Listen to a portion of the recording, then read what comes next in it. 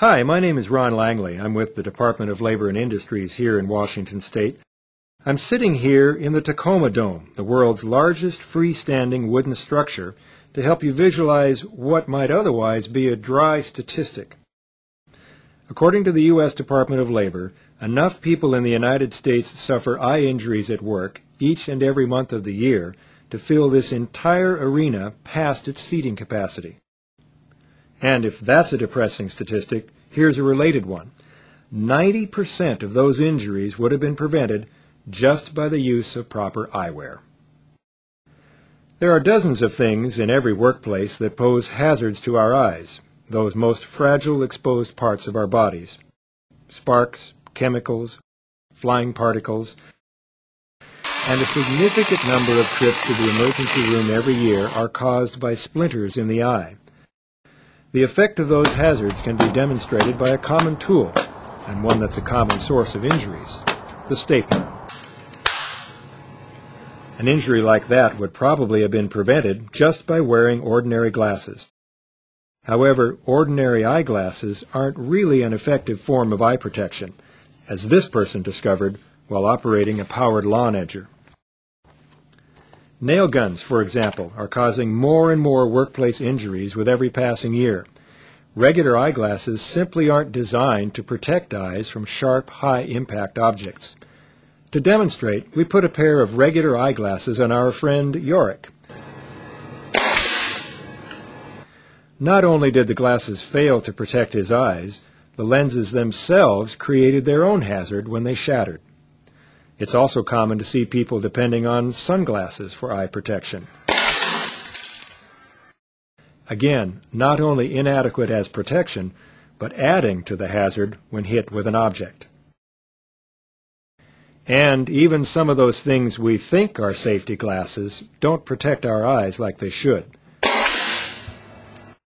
A pretty high price to pay for some companies' decision to sell shoddy imitations. To put it simply, if they don't have the ANSI, ANSI, ANSI Z87 stamp on them, don't gamble your precious eyesight on them. Sometimes you have to look closely to see it, but it's worth your effort to find the stamp.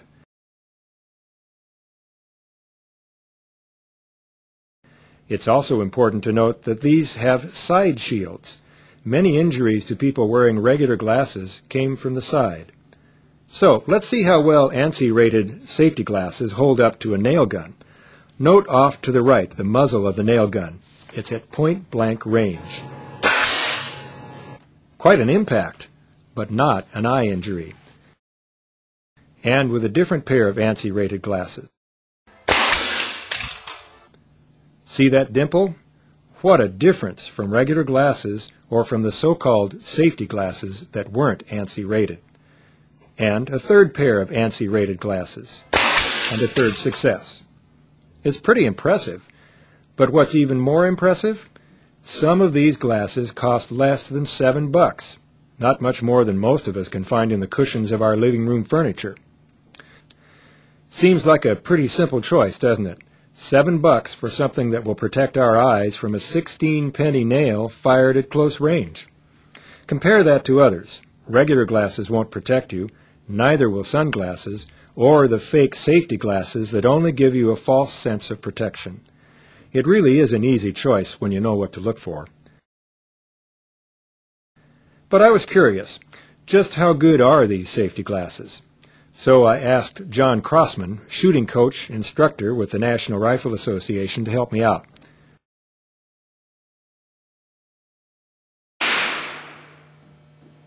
Ouch, that was quite an impact. And poor Yorick. At first it didn't look like the bullet went through the glasses. But what happened was the lens material closed back up as soon as the bullet went through it. The important lesson, of course, is that a pair of safety glasses by themselves won't protect against all the hazards in the workplace.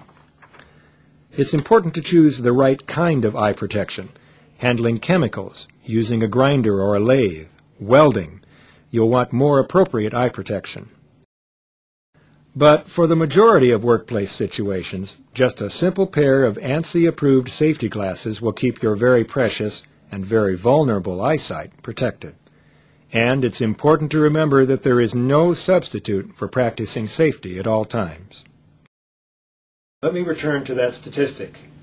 90% of workplace eye injuries would have been prevented simply by wearing proper eye protection.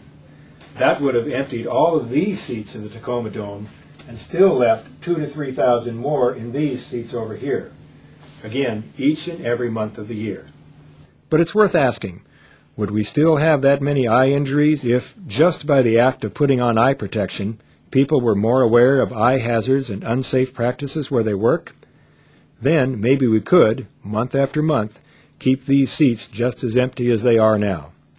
Because eye injuries are about more than some temporary pain, medical bills, and some days off from work. They're about people losing part or all of their ability to enjoy the beauty we're surrounded by and often take for granted every day. It's about being unable to fully enjoy those things that used to make our lives so enjoyable.